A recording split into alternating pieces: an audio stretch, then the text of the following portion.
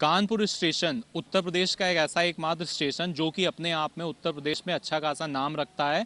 आज हम पूरी कवर स्टोरी आपको दिखाएँगे।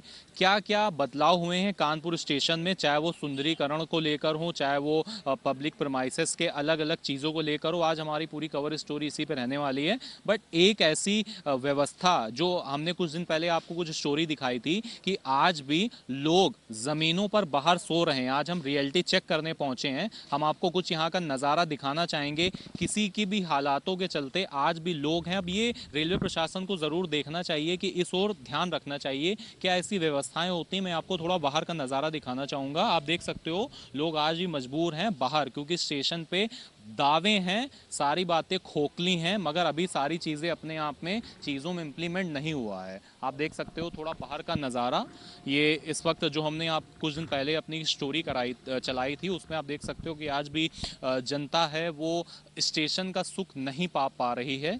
इसी के साथ वीडियो जर्नलिस्ट के साथ Nikhil Gupta, Aakash India live TV Kanpur central